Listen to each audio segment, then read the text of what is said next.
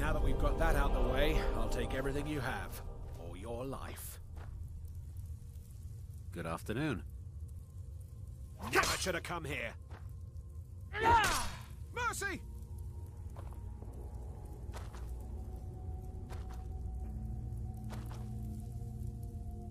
I can't believe it.